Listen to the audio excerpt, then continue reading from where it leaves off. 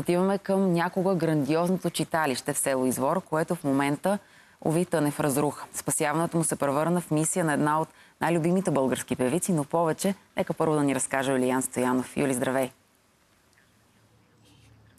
Здравей, Марина! Пристигнахме тук в село Извор, читалището. То е зад нас. До мен е една от най-активните дами тук в селото, която се опитва да го реновира. Димитрина Мирчева е с мен. Добро утро! Добро утро! Добро утро на всички зрители на нова телевизия. Влязохме вътре преди малко, видяхме какво е положението. Паднали тавани, мухъл, гъби има по седалките, казвате. И сега с една нова песен на Теди Кацарова намериме. на ново, с нови сили събирате с колко пари сте събрали и докъде тече ремонта? А, значи нашата благотворителна дейност върви от есента на 2023 година.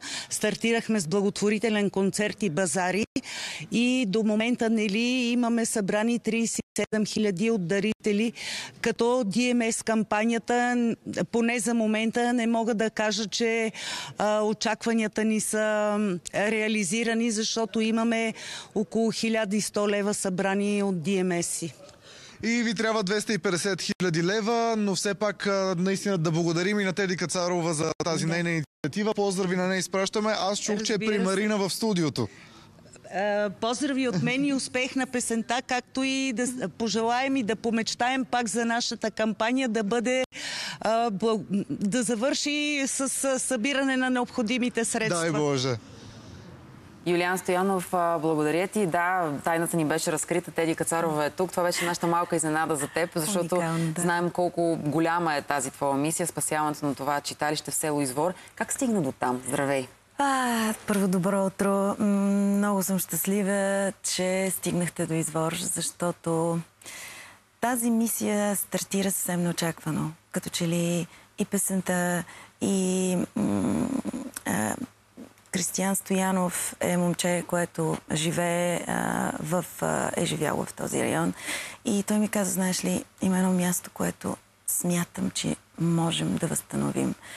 А, трудни са кампаниите в България. А, даже беше ми свален поста от Фейсбук. Защо? А, не знам. Пост, в който ти призоваваш хората да който аз призовавам хората и представям песента, която е изцяло заснета в а, читалището.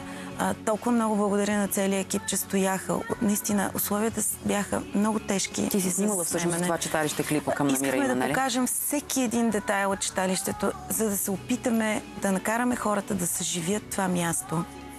Благодаря и на а, Красимир, а, който прави монтажа, а, Николов. А, благодаря на Костадин Кръстев Колко, който е режисьор. А, как да ви кажа, много ни се искаше да запалим искрата в хората, да възстановят едно културно средище. Защо това е важно за теб? Сигурно ами... че толкова много каузи се борят за твоето внимание. Защо избра точно тази? Избрах тази, защото освен, че мястото е с изключително голяма културна стойност, то е, може би, най-голямото в района. И същевременно с това ам, има някаква магия. Там се случвали едни от най-големите концерти ам, преди много години. А, стартирала е много хубава а, дейност и всичко това тъне в забрава. Това е като една а, така забравена театрална сцена, която буквално умира. А, всичко пада. А, а можеш да видиш а, нали, тези нюанси от блясъка от едно време. Моята мечта е там да се правят детски конкурси. Аз ще да те питам, какви са най-смелите мечти, свързани с това място? Кого искаш да видиш там? Искам Големи да изпълнители таланти. като теб или по-скоро да видиш съживяване на тези регионални културни Защото имам привилегията да бъда жури на много конкурси за млади таланти из цяла България. Просто не можеш да си представиш какви деца има. И иска ми се да им даваме повече шанс, да има много повече реализация, защото ам, да, разбира се, и през форматите виждаме ам, всички тези изключителни а, млади хора, които се борят за своето място на, на тази сцена. Но ам, иска ми се техния живот и тяхна кариера да е дълга. А, защото това е най-трудното, да, да успееш да, да се закрепиш там, в, а, аз го наричам златната среда, а, където да правиш качествена музика, да има качествени текстове. И най-хубавото е, че това лято, благодарение на Евгений Боянов, пътувахме и с цяла България с едно много хубаво турне, обича песен. Ние сме разказвали за него в предаването. Толкова такова, беше хубаво, защото а, хората се бяха събрали от толкова различни поколения а, на едно място, за да слушат качествена българска поп-музика. Има ли търсене към а, твоята музика и ти в тази златна среда ли се чувстваш, в която пожелаваш на младите артисти да стигнат един ден? Ами да, а, просто искам и за да им а, дам този заряд, да им дам този тласък, защото първите стъпки са най-важни. И това да не се откажеш. Много е, много е лесна крачката назад. И колко пъти си си казала спирам? Ох, много пъти. Но аз много пъти започвах от начало. Качвах се нагоре по стълбичката, слизах надолу. Но когато се обърнеш към тази музика, която можеш да си пееш с една китара на плажа, да текста да е, да е толкова въздействащ, няма да забравя как изключително много хора ми писаха за Намирай ме, защото нещо много ги докосна. Иван Бондоков написа един текст.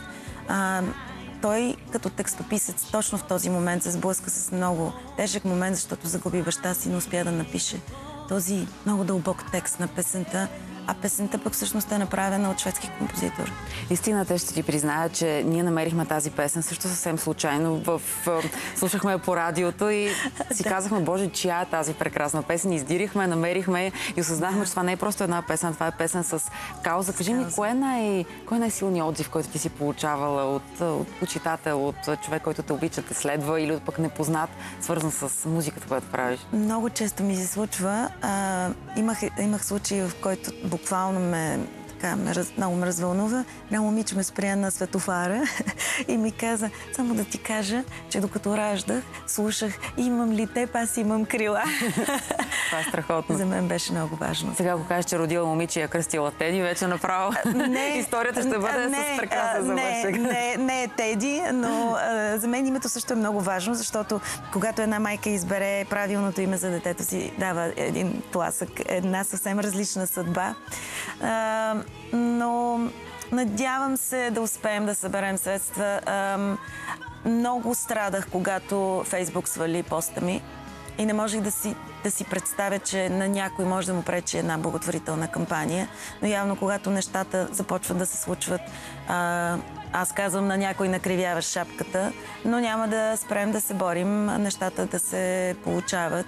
И призовавам всеки един, който иска да помогне а, ако все още съществува DMS, защото знам, че и неговият а, живот беше кратък, на 17777 DMS с латински извор Ам... Нека да помогнат и както се казва, до следващия път, когато дойдеш да ни гостуваш, да ни разкажеш да. всъщност за успеха Ам... и да се включим от това читалище, да... което е възстановено. Искам малко да ми разкажеш за теб, защото знам, че толкова много неща ти се случват това лято. Сега много неща се случват. Ето сега бързам да оповестя един концерт, който е съвсем наскоро. А, много благодаря на Игор Марковски, че ме включи в този прекрасен проект на Пеещи артисти 3. А, и заедно с Люба Пашова и с Петя Дикова направихме една много забавна песен а, на господин Лобушки. А, така че мисля, че на 24 септември ще бъдат представени 24 песни в зала 1 на НДК. Много малко са билетите останали, затова побързайте, ще е разкошно. Ти казваш за тази година, че това ще е годината на твоето семейство, защото много неща се случват, да. свързани с, с най-близките ти хора. Разкажи ни за това. Ами, мама направи 70 години. Тя е вече много бойна, все по-бойна става. Винаги е била. А, винаги е била. и това е един а, така много сериозен момент в а, нашето семейство. Много сме щастливи, че го отпразнувахме с едно парти изненада на 26 април. А, извадихме много а, стари архиви. Беше Наистина ли беше прекрасно. изненада? Аз гледах клипчета Наистина беше изненада. Тя не знаеше, че толкова много хора Тя ще знаеше, очакват. че ще има парти, но не знаеше какво точно ще се mm-hmm. случва. Бяхме подготвили толкова много смях. През цялото време имаше а, кадри. А, те дори не си спомнят спомняха с татко, че са пяли тези песни, че са се снимали в тези предавания а, от 70-те години. А, така че а, всички наши приятели, а, много беше малка, разбира се, залата да побере всички приятели, но сега пък а, се събираме на голяма сцена на 4 ноември. Къде ще празнуваме голямата Силвия Кацарова. Зала е едно на Кажи ми, твой Ян как приема този музикален свят, в който ти го потопи? Той идва от света на спорта, три години сте вече заедно. Успя ли да свикне с това Ян да бъде... Ян е ни чака. Сигурно вече разбира, че говорим за него. Ами, а, не му е лесно в интерес на истината. Вчера а, имаше един уникален концерт в Димитровград. Толкова много благодаря на всички от Димитровград беше вълшебно под звездите. Ам, такава емоция. И, и на него му е различно, интересно и ми каза, знаеш ли, едва сега осъзнавам колко ви е трудна професията. И как всъщност е, музиката и спорта са почти еднакви. Всичко е свързано с много дисциплина. Въобще не е това, което изглежда излизаш и пееш, както много хора казват. Е, какво толкова пък излизаш и пееш? Всичко е свързано с изключително много дисциплина, с а, а, тъй наречени тренировки, нали? гласа, разпяване. А, аз, например, ако имам запис, никъде не излизам предния ден. Ако имам снимки, два дни почти не ям. А, и човек трябва да е много, много а, стегнат, а, мотивиран и същевременно с това да е готов за цялата тази любов, която трябва да даде и да получи. Да. Много ти благодаря, че беше гост на предаването. Сигурна съм, че тази любов, която даваш, се усеща и заради това твоите почитатели са толкова много. Песента, още веднъж огромни комплименти от целия ни екип. Който не я чул да я чу и който не е помогнал на извора, може да го направи, да го направи. Теди Кацарова, благодаря, че беше тук. А ние с вас ще се видим след малко.